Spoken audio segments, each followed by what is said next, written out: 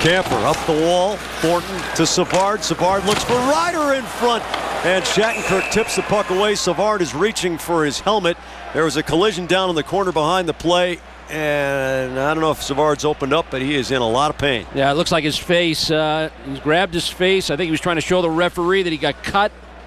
If not cut, certainly injured. I believe it was Matt Hunwick that was trying to angle him off into the corner.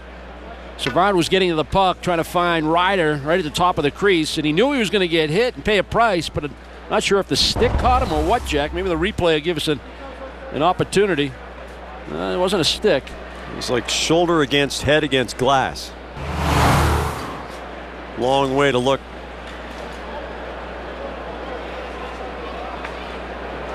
Don Del Negro has pressure on Savard's head, so we can presume that he's trying to stop some bleeding there. And of course, anytime Savard gets rattled around, you think about the 23 games he missed this season with a concussion. It's a little bit similar to uh, the hit he took the other night at home, where he was reaching to make a play, make a pass. You're, you're in an exposed position, you're prone. And with this uh, glass in the National Hockey League today, it's not as forgiving as it used to be. And uh, these are the types of things that can happen. And when they first built this rink, this was one of the problem rinks, wasn't it? They, they had really hard glass here in Colorado, as I recall.